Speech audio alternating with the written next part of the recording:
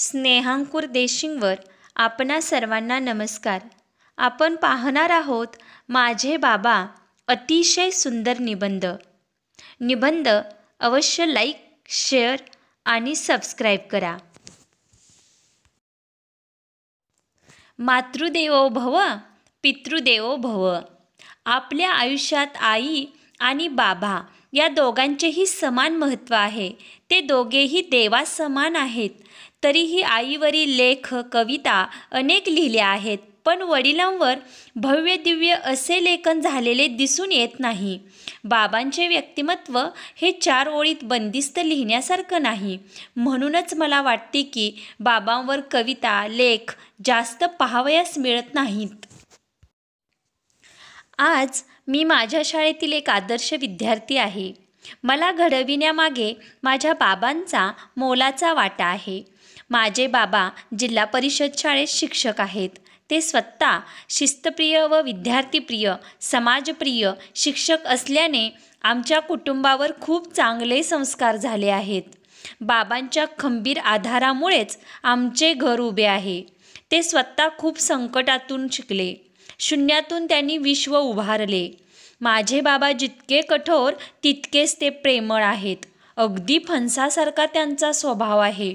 मी शाळेतील शाळेबाहेरील अनेक स्पर्धेत भाग घेऊन यश मिळवतो. मला बक्षीस मिळाल्यावर आई जवळ घेते तर माझे बाबा मला माहीत नसताना गोड खाऊ आणतात.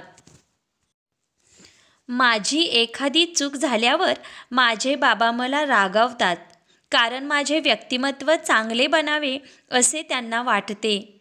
आपला मुलगा भविष्यात एकही चूक करू नये म्हणून ते सदैव दक्ष राहतात. खरेच आई घराचे मांगल्य असते तर बाबा घराचे आधार असतात. आई समईतल्या ज्योतीप्रमाणे असते आणि बाबा समईप्रमाणे जणू असतात. म्हणूनच ज्योतीपेक्षा समईच जास्त तापते. एखादी वाईट घटना घडली तर आई रडून मोकळी होते. पण सांत्वन मात्र बाबांना करावे लागते. आमच्या कुटुंबाचा आधारवड बाबा आहेत. बाबांना नोकरी असूनही ते आमचे घर काटकसरीने चालवतात. पैशाचा योग्य वापर करतात. आजी आजोबांची खूप काळजी घेतात.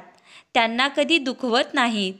शाळेतून घरी आल्यावर दररोज थोडा वेळ आजी आजोबांबरोबर गप्पा मारतात.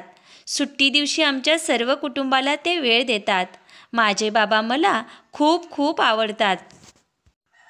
त्यांनी शाळेत तसेच आमच्या घरासमोर खूप झाडे लावली आहेत.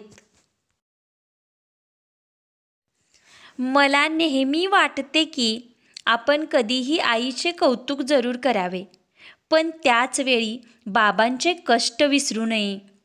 देवकी यशोदेचे कौतुक करावे पण त्याच वेळी पुरात डोक्यावरून पुत्राला घेऊन जाणारा बाप वासुदेव आठवावा. चालताना बोटाला चुकून ठेच लागली तर तोंडातून आपसूक शब्द बाहेर पडतो. आई ग! पण समोर मोठा साप पाहिला की मात्र मुखातून शब्द बाहेर पडतो. बाप रे! मला खूप अभिमान आहे की माझे बाबा माझ्या आयुष्याचे खरे शिल्पकार आहेत. त्यांच्याशिवाय माझे जीवन अपूर्ण आहे.